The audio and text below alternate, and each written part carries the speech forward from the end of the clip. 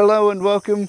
I'm Sean Fox. This is Made to Ramble, and today we are definitely off the beaten path here in Argentina. We are in the small town of Colonia Carlos Pellegrini in the Ibera wetlands.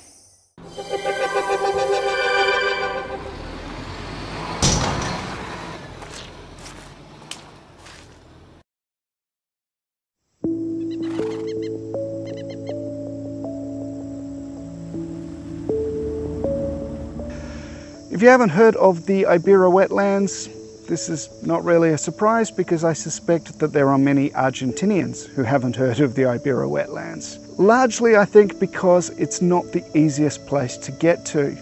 In order to reach here, we had to catch a bus from uh, Iguazu to Posadas and then actually organise a three hour taxi ride, private taxi to Colonia Carlos Pellegrini.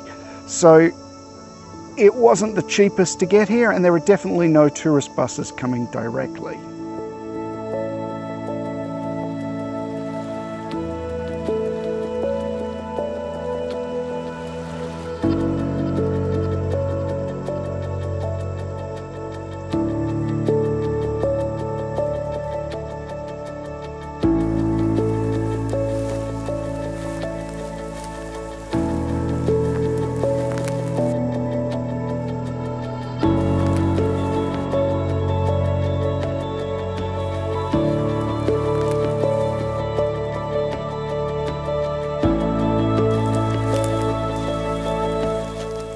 By the looks of all the work that the council are doing around here, there is a definite intention to build up a lot of tourism here.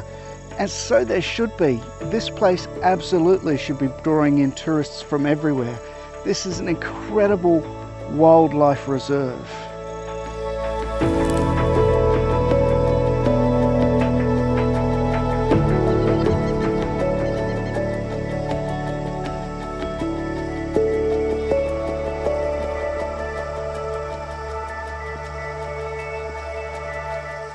There's such an abundance of wildlife in this area. There are a ton of caiman, although weirdly enough yesterday we didn't see any at all. We've seen probably a couple of dozen today. There are deer, there are capybara of course, and anaconda as well, although we've not seen too many of those.